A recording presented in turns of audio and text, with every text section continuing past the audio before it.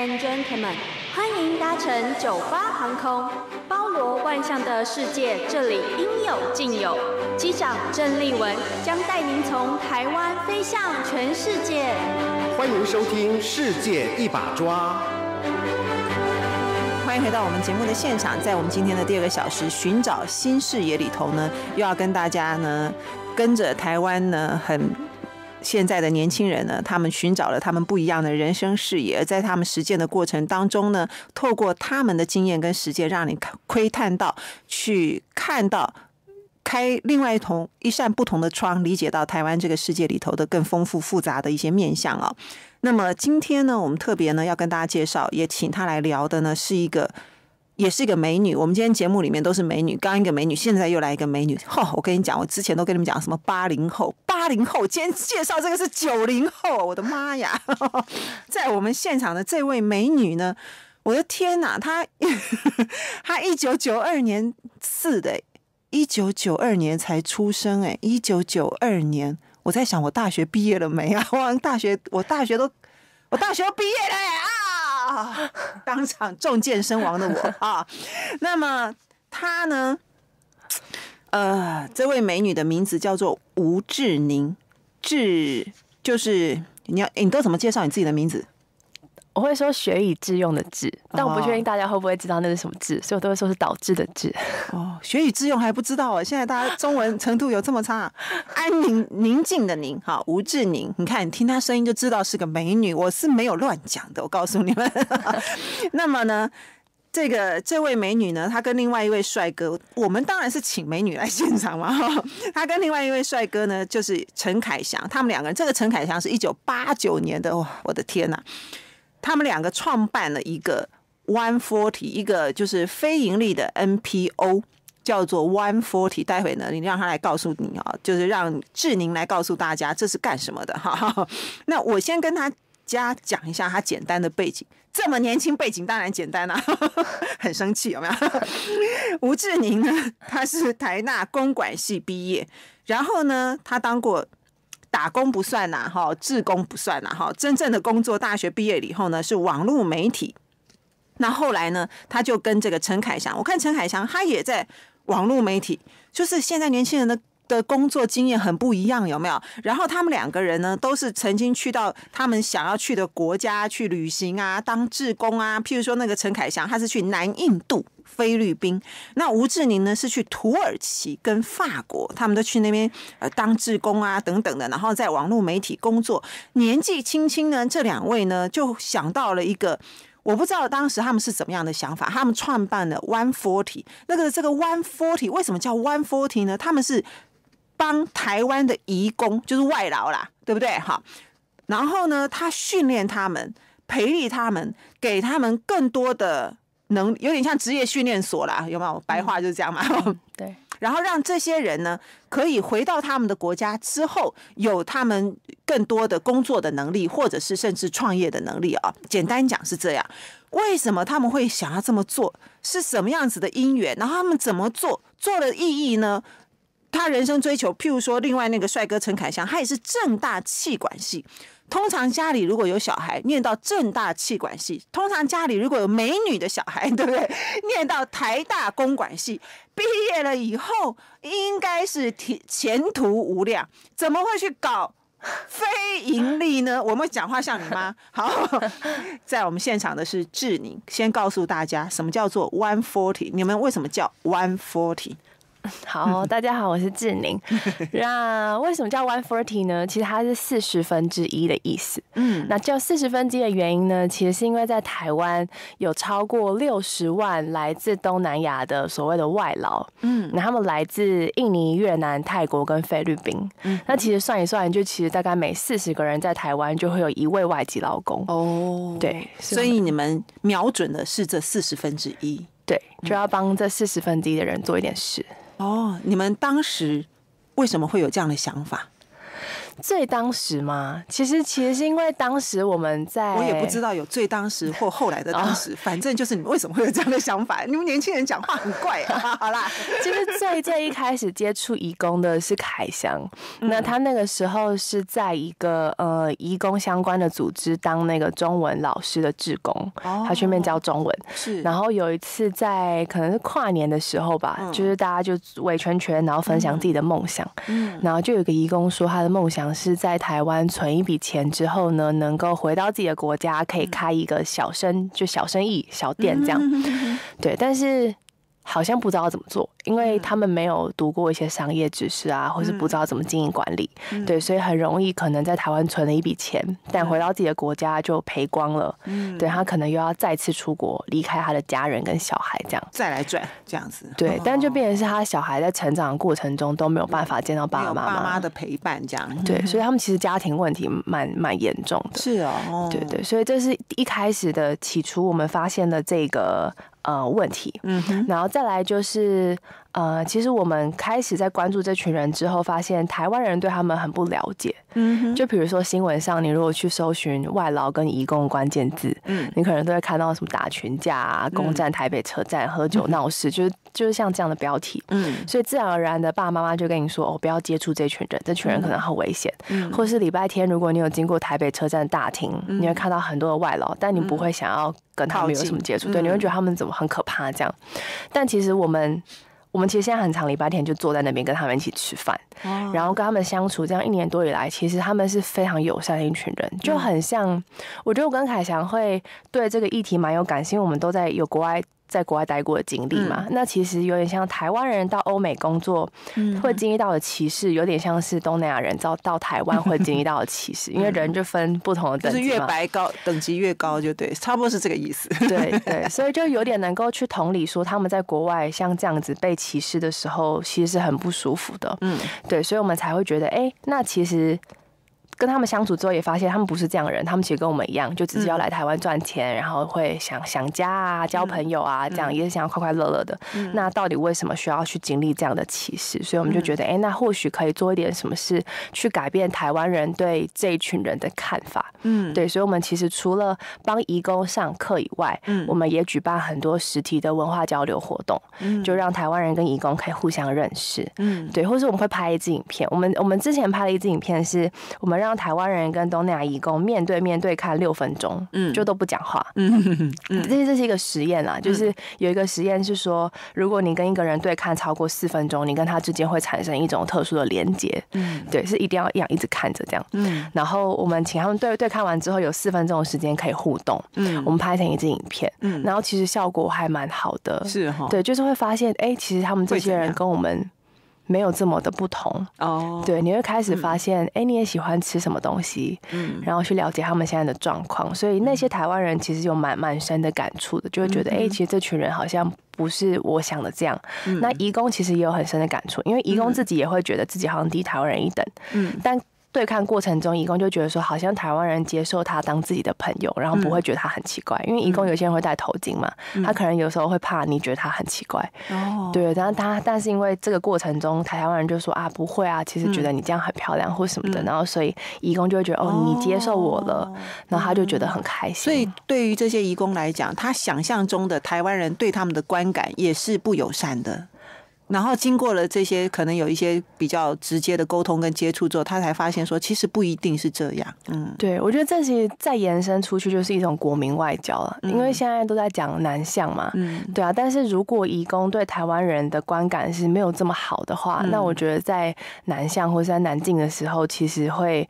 没有这么顺利，那么国家人就听到他们这些一去台湾工作回来都讲的都是坏话，对 对对，是不是？那如果去去了以后回来讲的都是正面的，又不一样了。对啊，对啊，对啊。所以你们现在，你们刚开呃，你们办开始办到现在多久了？我们从去年七月开始，嗯，对，那筹备大概筹备了大概半年，然后七月是正式开始，嗯哼，对，然后正式立案成为社团法人是去年底。那你们呃，One Forty 这样子的一个。呃，你们主要的，您刚刚讲到说，其实你们也会做一些文化交流的工作，可是最主要还是要培力义工嘛。那你们怎么培力他们呢？我们现在呢，就是我们就是上课。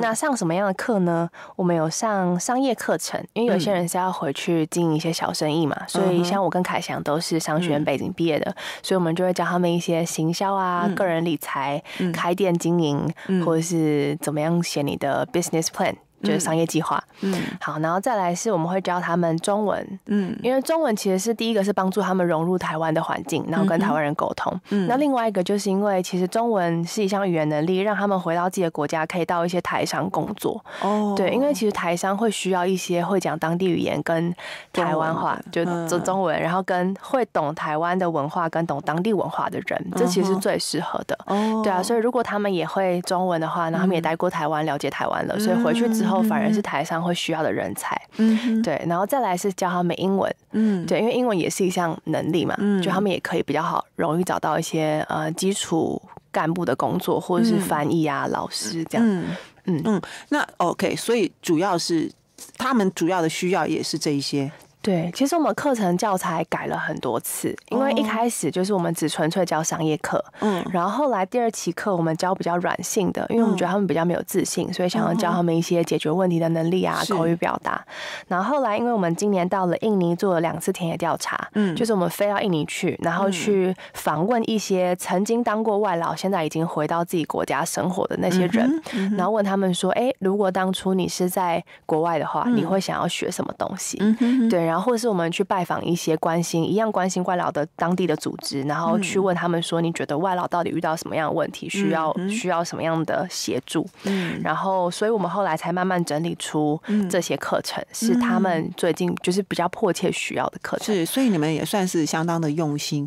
那么，因为外劳各种的形态很多哦，有的是在家里面，有的是在工厂，对，那有的是看护，对，就都不一样。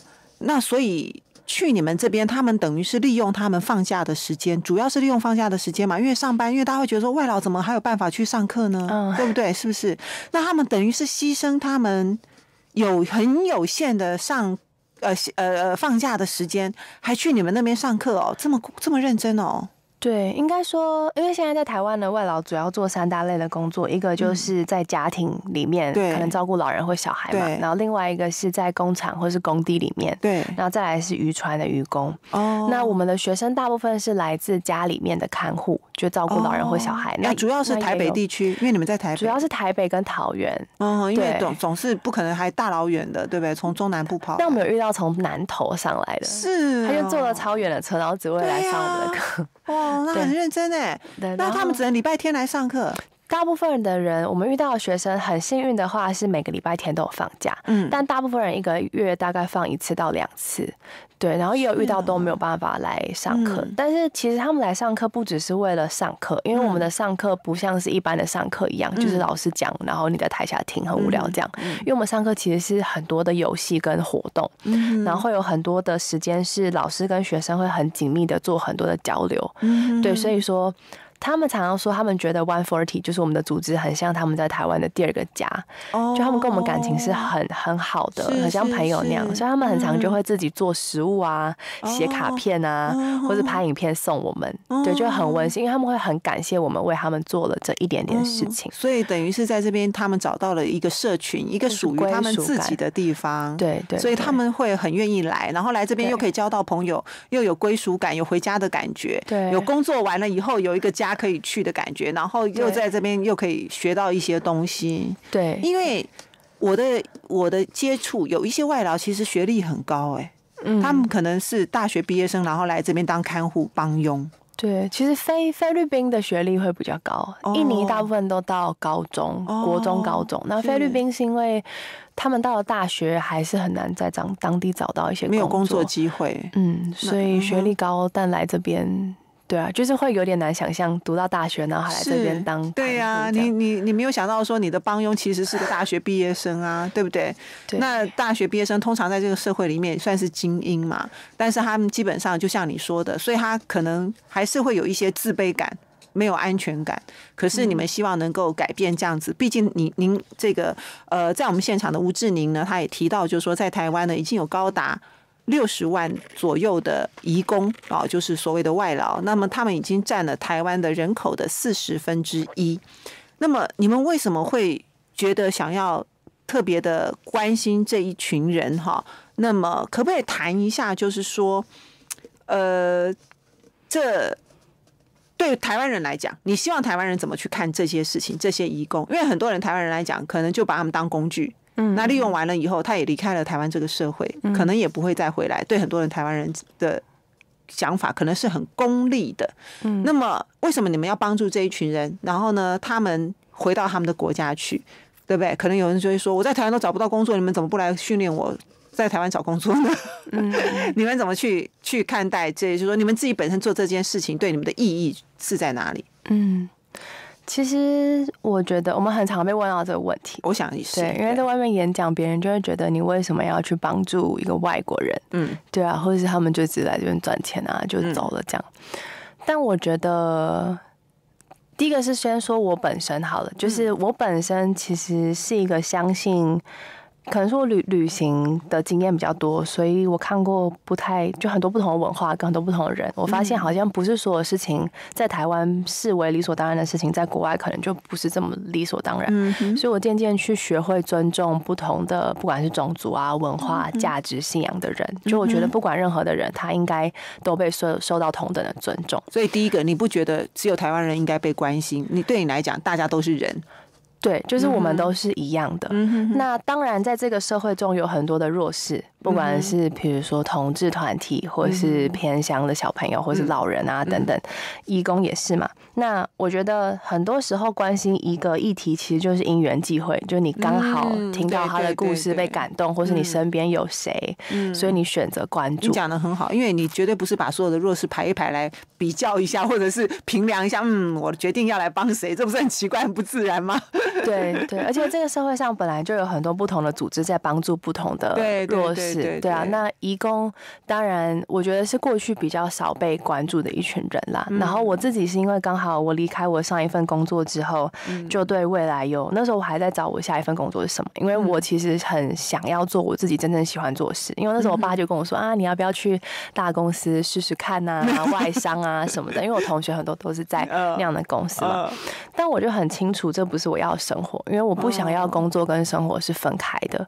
然后我希望我的工作是我可以感受到我自己的价值，然后我希望我以后未来等我老了，再跟我小孩分享我的人生的时候，我可以很骄傲的说，我很骄傲的说，我工作的时候，我可能做了哪些我自己觉得很有意义的事。所以你只是高中的时候填了一个 觉得厉害的戏，其实也没有，你会那你会觉得说，你其实并不想要念这个，不会不会公馆吗？不会，我觉得是因为，因为其实公管系是工商管理嘛，它等于是类似气管系。那他学的东西，我觉得非常实用。因为比如说学经营管理，我现在在做这个组织，我就需要经营管理啊。所以你其实也没有没有说跟学的东西完全没有关系，只是你没有像一般你的同学一样去走那样的一个路径而已。你还是有用到你学的东西，所以你对你学的东西还是你你基本上还是喜欢的。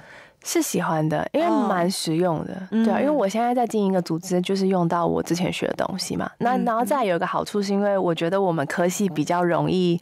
呃，比较轻松，就它不像相较于电机系啊，或者是医学系，或是理工科系，他们的课业很重。嗯，但我们科业没有这么重，所以我有很工商系这么好混哦。哦，就是现在考试很多选择题这种，所以你们老师要考选择题哦，都考选择题。对，所以我有比较多的时间去 在大学的时候探索我自己。就我会去修很多外系的课，比如说心理系啊、社会系，或者参加很多社团活动。来喜安呢？哦，没有了。好，在我们现场的是 One 体的创办人之一吴志宁。休息一下，马上回来。欢迎回到我们节目的现场哦，在我们今天寻找新视野里头呢，呃，在我们节目现场的呢是一个更年轻的年轻人，他是一九九二年出生的九零后的年轻人啊。那么您刚在听到他的，其实。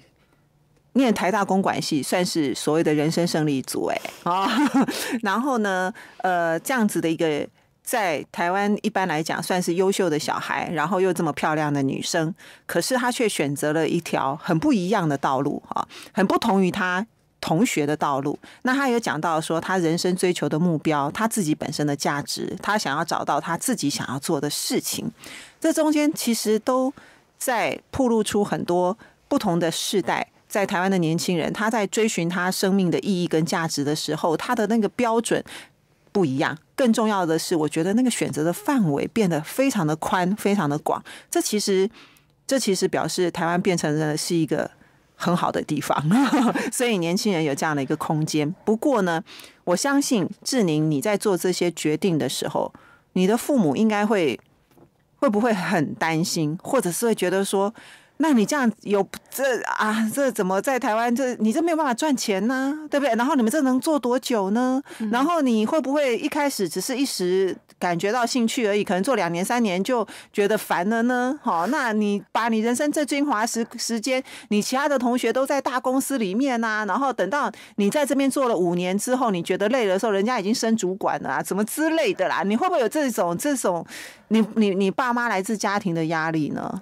一开始会，对他们一开始也是很希望我去一些比较大的公司里面，嗯，对啊，然后会很担心我，因为比如说我刚开始做，因为我前半年是我跟凯翔都没有领薪水的，我们是靠之前赚的钱的储蓄，嗯然后我爸就而且因为你们是非盈利的，你们也是靠捐款嘛，对不对？对对对，所以他一开始就会很担心我。说哎，你会不会吃不饱啊？或者什么，就会关心我的状况，然后是就一直跟我说，你要不要考虑一下？就是哎，试试看就好了，就可以赶快收手这样。对对对，有有做到就好了，有做过就好了之类的。对对，然后但是我觉得，因为我还蛮坚持的，然后我会邀请他们来听我的演讲。嗯，邀请你爸妈。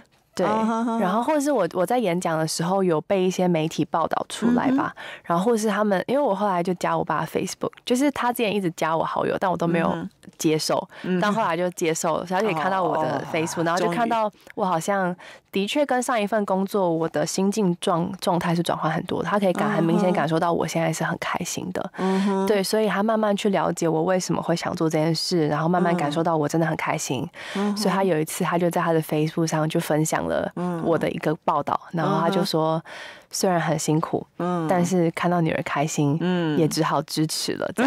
你爸也很年轻吧？我爸在五十五左右。对啊，你爸也没有大我几岁啊。啊，好，那他最后就就就还蛮支持我，他现在就会给我很多的建议。嗯，对，就说哎，应该要怎么样怎么样，但他还是会跟我讲了，他就说你还是要为未来就做一些打算，比如说你要怎么存钱啊 什么。但他现在就不会一定要我怎么样，但他只是就是会希望我可以自己去想清楚。那你妈会不会觉得说说，那你什么时候要嫁人啊？什么时候要生小孩啊？这一类的呢？我妈还好，他们就说三十岁以前就不能嫁人。看现在观念真的不一样了，以前三十岁还没有嫁，妈妈应该就很紧张了吧？现在女儿条件这么好，不需要这么快 真的嫁出去这样。对呀，哦，对啊，但是我觉得，那你自己呢？你自己呢？会会会想吗？不会想那么多哎。哦，我觉得结婚那种事情还太遥远了。对啊，而且也要遇到就是真正还不错人才会想要结婚。对啊，然后我觉得我还蛮，应该是我还蛮早就在思考我要的生活到底是什么样子。哦，我的意思就是说，你妈不会觉得说你一天到晚跟这些义工混在一起，去哪里找到好老公啊之类的。不会啦，不会这样，不会这样觉得，对，但他们会这样。哎呀，因为你的条件很优秀，对。那你们的工作的状况，跟跟这些义工的互动，我们刚刚讲都是说他是这个，他们礼拜天才休息才能够有办法来。那你们礼拜一到礼拜六在做什么呢？就。你知道我们是经营一个组织，所以其实会有非常多的事情要做。那礼拜天只是一个执行，我们还要帮义工上课。那礼拜一到礼拜，我们是礼拜一到礼拜一到礼拜五上班。嗯，那上班的时候要做什么呢？就是第一个，我们要去呃找钱啊。嗯，对，因为我们是非营利组织，所以要你们怎么找钱呢？就是其实就像一般非营组织一样，像慈济啊，或者是无国界医生，我们就是靠政府的补助，嗯，或者是企业的赞助，然后跟大众的捐款。所以我跟凯翔的角色就比较像是我们需要去找一些政府的补助，跟去跟企业谈一些赞助合作。就是会跟企业谈，有点像是那种新创公司跟一些老板做一些简报，说我们做什么事，你要不要来给我们钱这样。那另外大大众募款就比较像是我们有一个线上的系统，然后我们会办一些活动，让大众知道我们在做什么。像我们现在就在筹划明年的三月底四月初，我们会在华山办一个展览。那这个展览是蛮大的展，所以等于说我们现在就要开始想展览会有什么东西，要如何让大众透过这个展览去认识义工议题。嗯哼，那同时也是你们培力义工的一个成。成果展是不是这样子？对对对，那等于是说，你们现在有一些例子吗？就是您觉你们觉得虽然很短的时间啦，因为你们从成立到现在其实一年时间还很短，可是有没有已经让你们觉得说很有成就感的例子？我觉得成就感分小的跟大的，嗯。就如果比较小的成就感，就像是他们上完课之后会给我们很多很多很温暖的回馈，常常写信给我们啊，拍影片，嗯，然后就会觉得好像你认识了这一群人，你因此世界变得更大了。嗯就是你看到东南亚然后，看到一群嗯你在台湾其实基本上不太有人会认识到人。嗯那比较大的成就感是，呃，的确是有些学生已经回国了，像我们今年去印尼就有去拜访了一些已经回国的学生。嗯那他们是有些人是真的有在开一些店，嗯对，那他就是有用到我们在课堂上教他的一些，比如说如何去做行销啊，嗯或者装潢你的店面等等。所以我们去的时候，你知道，其实他们。你对他在台湾做一点事情，你到印尼他们就会非常非常照顾你，就是他们会叫你住他家啊，然后三餐都帮你包好啊，然后就再接你去很多地方这样。嗯对，然后或是他们去我们一去他的店里，他就会问我们说：“哎、你觉得我的店哪里要再更好更好？”这样就很积极，然后很你会觉得很开心，好像我们教的东西他真的有吸收，然后带回去印尼。嗯有一天你们会得到来自这些义工的捐款。对啊，他们如果回去，然后工作或者是甚至创业很成功的时候，对不嗯对？对，嗯。我觉得他们是很懂得感恩的他们会。回馈啊，嗯，然后他们捐钱给你，你们会教更多的义工，对对，然后有一天可以跟他们一样，对是不是？那你就会形成一个很好的一个正面的循环，你就不会变成就说只是不断的付出而没有办法有有有回收嘛，嗯对不对？你你付出一定要有回收的啊，对啊。对所谓的回收不是这种厉害的回收啦，嗯对对，而是就是说证明说你们做这件事情是对的，嗯然后证明说你们这做这件事情是真的很多人需要的，嗯嗯，嗯？对不对？对。那所以你们在这个过程当中，你们觉得比较大的困难跟障碍会是什么？你说在做这个对啊，过程，嗯，譬如说，你们会觉得就是说这些义工们，还是你觉得都很好？我觉得创业就是这样，就是一定不太容易。比如说嗯找钱啊，或者什么的。但是因为如果你有很高的决心的话，嗯我觉得这件事情就小事。我觉得创业比较大的。最大的一个要克服的是你有没有，你够不够坚定吧？嗯。对，因为我们其实有时候也会怀疑自己做的事情到底有没有意义。因为有时候，比如说课上课，然后学生来来的很少，嗯。然后你就觉得哦，是不是我们的课他们不需要，或是我们设计的很不好？对，就类似像这样的时候，有啊，我们大概在半年前吧，就有遇到像这样的时候，那时候学生非常非常的少，嗯。对，然后就有点不太确定自己做到底是不是有意义的事，嗯对，但是刚好那时候去了一趟印尼，嗯。然后去拜访了一些曾经当过外劳，现在回到自己国家那些人，然后去拜访一些组织，那他们听到我们在做的事情之后，就非常非常的肯定，因为他们就说。真的很感谢你们做这些事，因为真真的需要，对，他说真的很多义工是回到自己的国家，就一下就没钱了，然后还还要再出去。哦。他就说一句我觉得很感动，他说其实很多义工出国是为了让小孩有更好的生活嘛，对，但其实小孩需要的不只是钱，就是小孩更需要父母的爱，嗯。他其实很需要父母在身边。对啊，所以如果义工需要这样一直一直出国的话，对他们来说其实是很伤的。嗯对啊，所以他就很感谢我们在台湾做这些，他觉得可以继续做下去。那去你们这呃这些地方，就像你说，台湾其实有来自不同国家的义工嘛，哈、嗯他们的语言、他们的信仰都不一样。泰国是佛教，菲律宾是天主教，对印尼是穆斯林、哎，那他们都一样去上你们的课，所以他们彼此之间其实也要互相的认识，因为你通常你看义工他们会。聚集在一起，是不是就是说菲律宾人会跟菲律宾人在一起嘛，这一定的啊。印尼人会跟印尼人在一起啊对。那去到你们那边也会变成互相交流应该说我们现在主要针对印尼，哦因为语言不同嘛，风俗民情不同，我们有点难上课就一次四种语言这样。对啊，对对，所以我们哦现在其实是先从印尼，因为印尼是占最多人口的。啊对，所以我们先从印尼开始，然后课程稳定之后呢，我们就会，其实我们现在在发展线上课程。嗯，那线上课程其实就可以翻译成不同的语言，因为有些义工还是没办法放假，对，但如果有线上课程，就可以减少时间跟地域的限制，就是让他们在家里就可以看他们自己语言的教材。那他们在台湾的这些工作的经验很难转化成他们在回去以后的嗯，的继续做类似的工作，或者是因为这样的工作经验而有所什么的。蛮比较难哦蛮难，因为像照顾老人、小孩，嗯，他们在那边比较没有这样的需求嘛。对啊，对啊。哦，OK，在我们线上的呢，在我们现场的呢是 One Forty 啊，他们负在做培力义工的创办人之一吴志宁。休息一下，马上回来。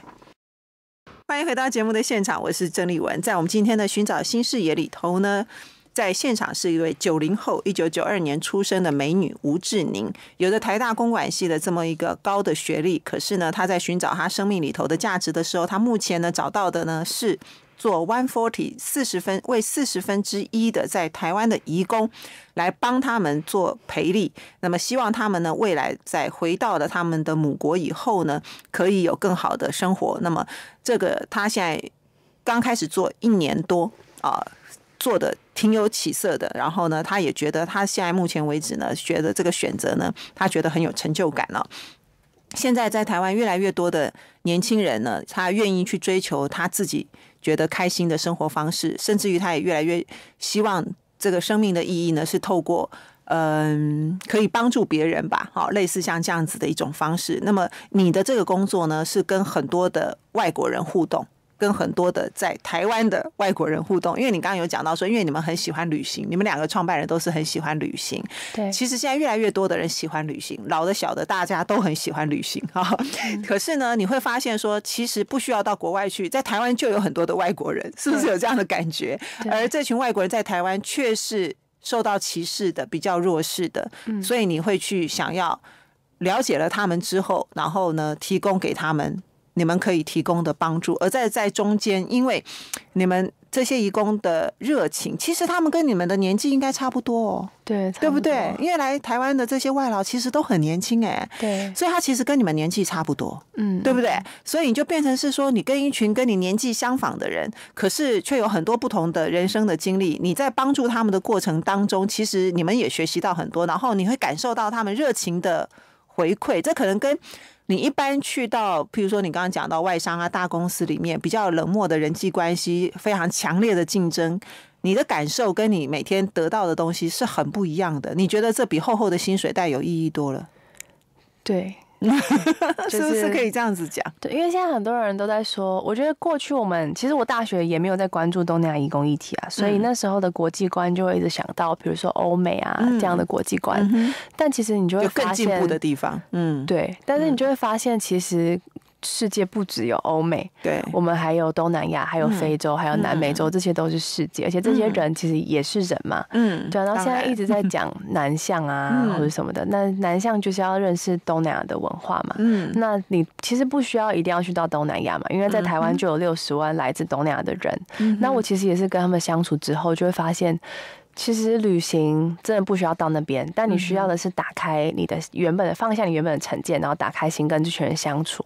然后我也是跟他们相处之后，才发现原来呃穆斯林就是伊斯兰教跟我们想的很不一样。就他们其实也不是，就他们其实不是每个人都需要戴头巾哎，而且。像很多人都觉得 印尼是国教是伊斯兰教，但其实印尼是没有国教的国家。对，印尼其实是接纳呃全世界的五五种宗教都可以，但是就是因为大部分是伊斯兰教，所以大家就会觉得印尼是伊斯兰教，但其实没有。但是来台湾的印尼的义工还是以伊斯兰为主吧？因为因为大部分他们都是伊斯兰教，所以来的也是大部分伊斯兰教。但是我们也遇到蛮多是有些是天主教啊，或者是基督教也都有。他们其实尊重不同。宗教的一个国家，那他们会不会觉得来到台湾之后，他们的雇主其实呃不耐烦或不愿意去了解他们不同的宗教跟文化信仰？或或者是说会不会觉得，因为现在越来越来，当然是越来越多的印尼的外劳啦，哈，可能大家会这个观念上面越来越了解，不然的话，可能有些家庭都觉得我不吃猪肉很麻烦，对不对？对，那那他们还是多半还是必须要先克服这一层。我看可能都会事先会告诉这些家庭说，他们真的。没有办法，不可以让他们碰到就猪肉啊、猪油啊这一类的东西。对啊，我觉得要看雇主，我们有遇到很好的雇主，是是，对，但是也有遇到一些雇主是他不太关心，就是义工的需求到底是什么。那我觉得这个也跟我们到底怎么对待这群人有关吧。如果今天是一个金发碧眼的美女来你家工作，你可能就很关心她是不是出 吃猪肉；但今天是一个比较黑的东南亚外劳，你可能就觉得她就是来这边也不用太在意他 visible 这样子。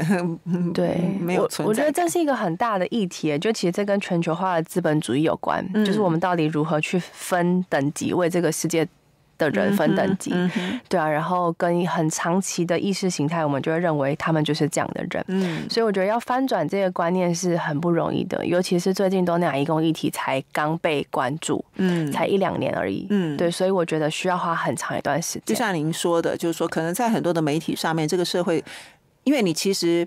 不太愿意正眼去瞧他们的时候，你也不会真的去关心他们发生了什么事。对，所以当你发现说台湾的主流媒体的主要的报道都是通盘通常发生一些负面的事情的时候的报道，或者是说当你去台北车站这样的一个台湾最重要的车站里面，几乎全部都被呃所谓的外劳占满的时候，换句话说。台湾人什么时候你会去关注他？除了他在帮你工作的时间，就是你觉得你的生活空间被侵犯的时候，或者是说，当你发现他们不是这么的对你来讲方便舒适的时候，这时候新闻就会报道出来。换句话说，这其实并不但没有助于彼此的了解跟融合，反正呢，可能台湾人也没有打算要让他融合，对不对？就觉得说你工作做完就回去了。可是其实我们现在还有很多的呃。外籍的新娘，来自东南亚的新娘，所以你讲就是说，呃，这个世界呢，其实还是充满了很多的歧视啊。当白人呢很歧视其他有色人种的时候，其实台湾人对我，我觉得台湾人种族歧视还挺严重的。过去哈，台湾人会歧视比台湾人更黑的、颜色更暗、肤色更暗的、哈更南方的、更来自更南方的这些国家的这些人。那么这些东西呢，并没有因为这么多年的外劳的引进而改变。你们除了帮他们回去之外，会不会也想，或者是说，也对我刚刚所描述的台湾的这样的一个现状，想要改变？然后，就像因为你刚刚一直提到新南向，对，如果我们没有对这些我们想要南向的这些国家的人，你根本不想要了解他们，你也不想跟他们交朋友，你只想赚钱，或者只想让他们帮你赚钱。有时候这时候目的是达不到的，对不对？对对，所以我们其实做了蛮蛮蛮多事情的。第一个就是分线上、分线上跟线下，就是如果是实体的话，线下活动我们其实每个月都固定举办文化交流的活动，嗯，就让台湾人透过跟这些外劳的相处，可以更认识他们，因为像是。从过去的完全就是距离超大，现在变成是开始有了接触。那当你有了接触之后，你才会开始主动想去了解。嗯，然后线上的话，我们去其实采访了蛮多义工的故事。嗯，所以我们又透过一些合作的媒体啊，或者说我们自己的媒体去把这些故事散播出去，或是拍一些影片，就慢慢的翻转一些，主要是从年轻世代开始啦，就翻转过去我们对这些外籍义工的想象。嗯，而且刚刚讲到台北车站的例子，我觉得还蛮有趣的，是我们很常会觉得他们好像。礼拜天就是站满了台北车站，好像很乱。但有一次我遇到一个日本人。